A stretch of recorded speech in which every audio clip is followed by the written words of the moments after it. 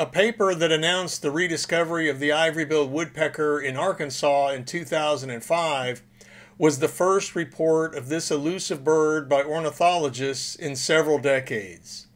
This exciting news motivated searches in other areas, and another group of ornithologists reported a series of sightings in Florida the following year. During my search for the ivory-billed woodpecker, I focused mainly on the Pearl River Swamp in Louisiana, where I had nine sightings and obtained videos in 2006 and 2008. Early in 2007, I visited Geoff Hill's study area in the Choctawhatchee River Swamp in Florida. On January 19th, several members of the search team were spreading out around an area where a pair of ivory-billed woodpeckers had been observed the previous day.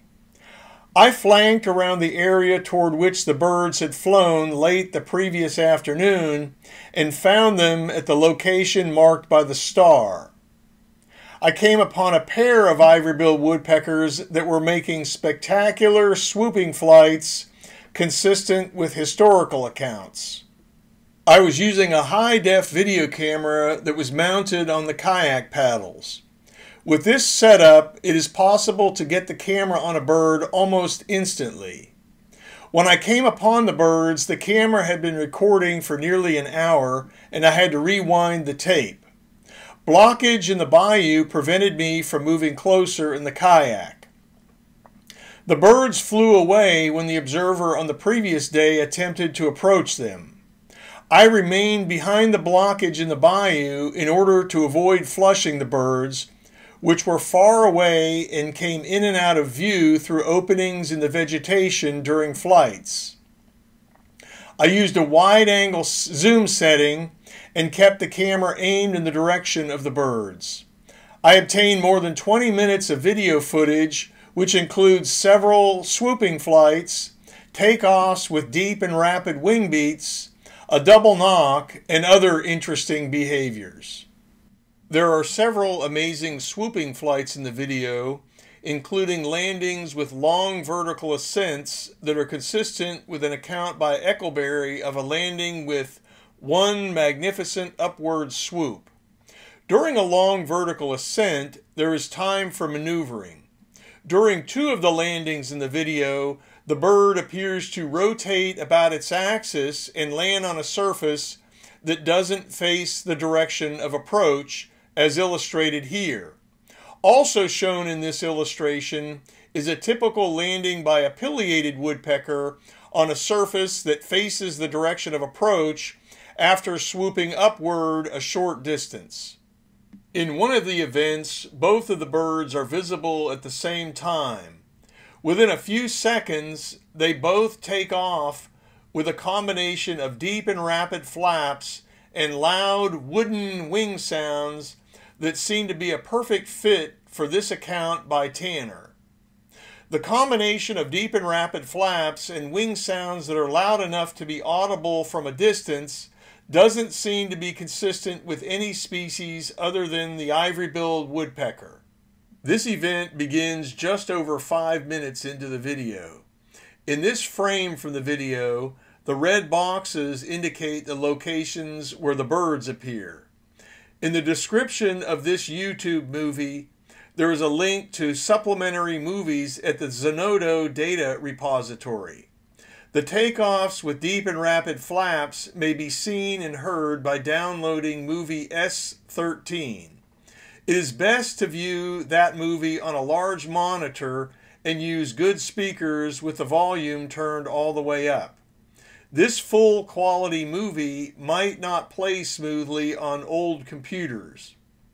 It isn't possible to present this event in full quality in this YouTube movie. The event begins when the first bird comes in for a landing with a long vertical ascent. This movie plays at full speed. It shows a landing in which the bird ascends vertically for a long distance. This maneuver seems unusual even for a bird that was reported by Audubon to have extreme flight behavior. It doesn't seem to be consistent with any other candidate species. Several similar events were captured in 25 minutes of footage during the encounter. Before the ascent begins, there's a prominent white patch that appears to be on the dorsal surface in this area. There is blur due to camera motion, but the appearance of the vegetation indicates that this frame is sharp. This is the underside of the bird after it swooped upward. The body is black, including the belly. The underside of the right wing is mostly white.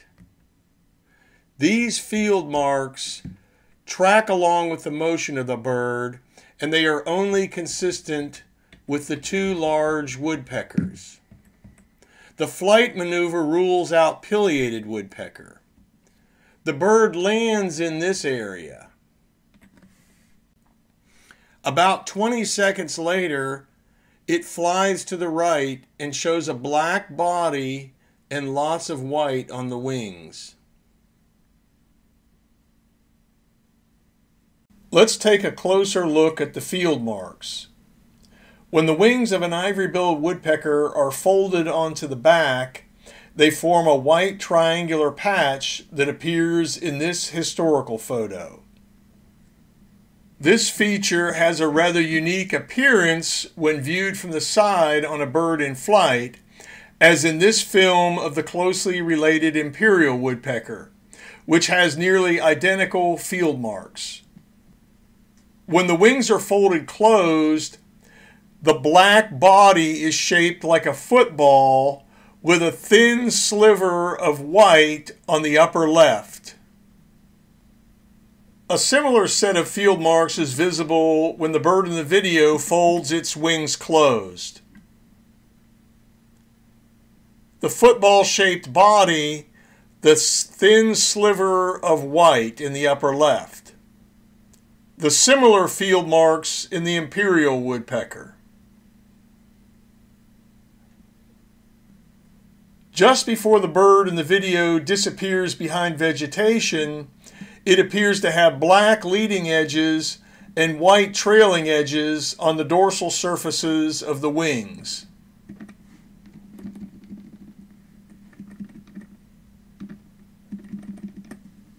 While the first bird was landing, the second bird was diving behind the trunk of a tree or perhaps into a cavity with a motion that is similar to the motion of an ivory-billed woodpecker diving into a cavity in the historical film.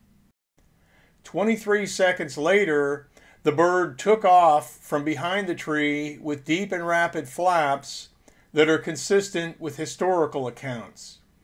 This flight and the ones that follow are shown at half speed. The deep and rapid flaps are similar to the flaps of the closely related imperial woodpecker taking off. The bird in the 2006 video took off with similar deep and rapid flaps.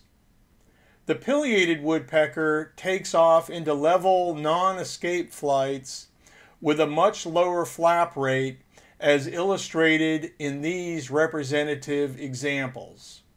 The vertically ascending landings don't seem to be consistent with any other candidate species. Several of them were captured in less than 25 minutes of video footage. These examples play at half speed. In this case, the view appears to be from the side when the bird comes into view.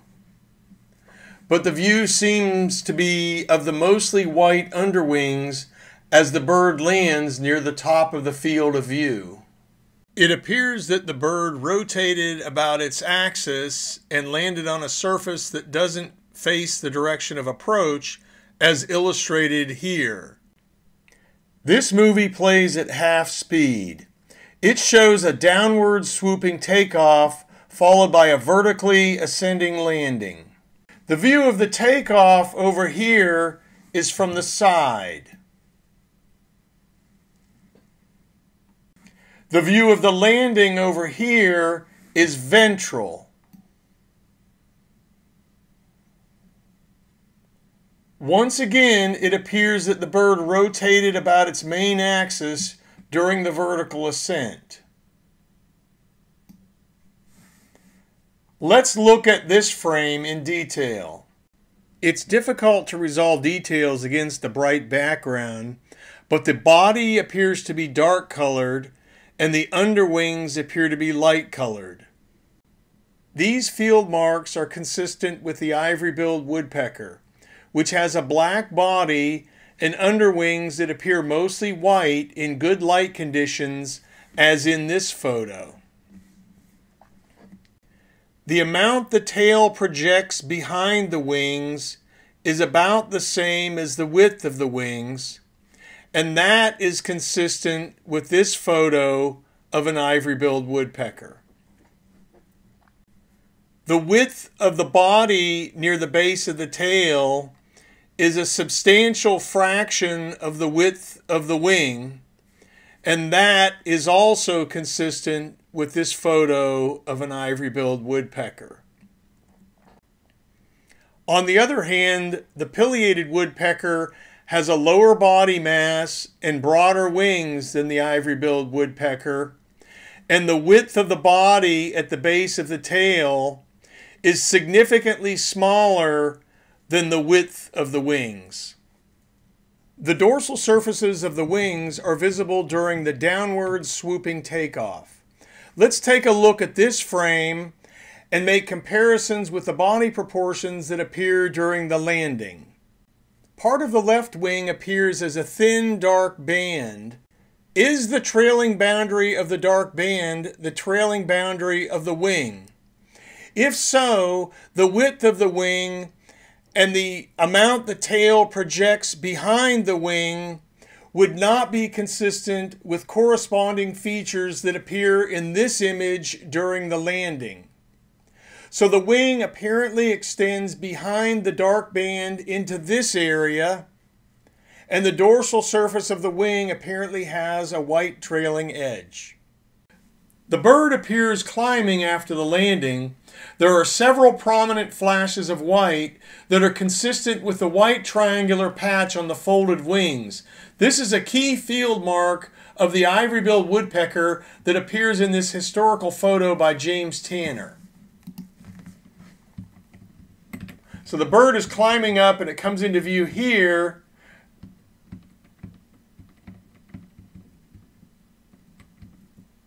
And here there's there are strong flashes of white right in the area where the where the white uh, triangular patch would be expected. There's actually a hint of it in, in some of the earlier frames here. Then when the bird gets up here, there's another strong flash from this area and another one here. Now the bird is on this branch and there's another strong flash of white, which seems to rotate around the tree as the bird rotates around to the other side of this branch that it's on.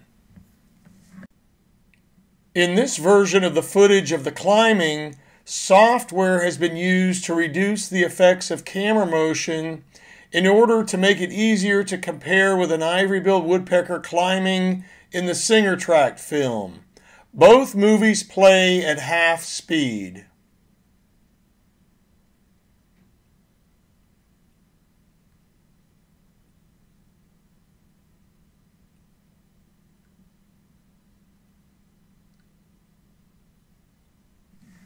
During a short flight across this opening in the vegetation, the bird appears to have a lot of white on the wings and a black body.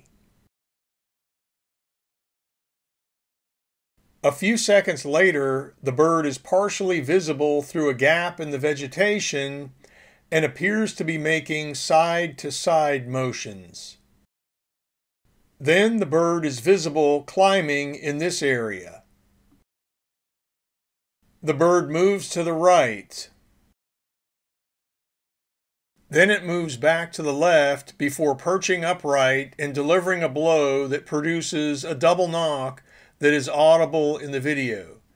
To hear the double knock, the video clip may be downloaded from the supplemental material of a paper that came out in Heliyon in 2017. Immediately after delivering the blow, the bird took off and rapidly accelerated with powerful wing beats into an upward swooping flight in this area.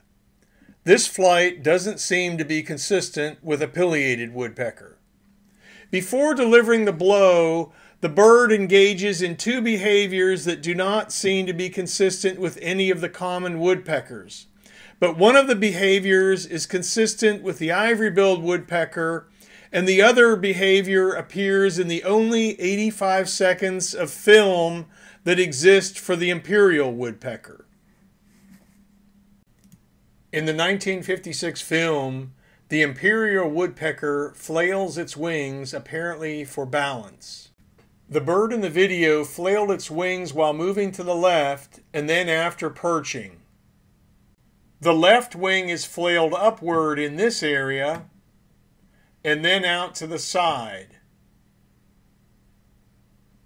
In film from the Singer tract, ivory-billed woodpeckers repeatedly make side-to-side -side motions while perched on their tails. The bird in the video makes similar motions just after moving to the right. It also appears to have made those motions while visible through a gap in the vegetation before climbing. Let's listen to what John Fitzpatrick of the Cornell Laboratory of Ornithology has to say about this behavior. There's the male, that was the female with a curly crest. There's the male. You can see the uh, slightly bushier but still very pointed crest pale in the black and white. Huge amount of white on the back. That uh, features later in uh, the presentation of the Luneau video. Look at that motion back and forth. That was something that Tanner described that was almost constant, perpetual motion of these birds whipping back and forth during their whole day, foraging and at the nest. So there they are together Again, the back and forth motions visible. The footage of the climb has been enhanced here to bring out evidence of a red crest. Only the male ivory-billed woodpecker has a red crest. This is apparently the only evidence for this species that shows signs of gender. There are also signs of a red crest when the bird makes side-to-side -side motions. At 2 minutes and 2 seconds into the video, there was a downward swooping takeoff followed by a long horizontal glide. The bird was far behind the trees in the foreground and was hidden behind vegetation part of the time. The flight path is represented by the green curve. This maneuver doesn't seem to be consistent with any other candidate species, but it is consistent with an account by Audubon. The flight is shown in two movies that were cropped from the video in the red boxes. In the first movie, the bird takes off here. Now I'm going back and forth, just showing the bird taking off. Then it can be seen passing through this area as it's leveling off. So let's just let this play a few times. These movies play at half speed.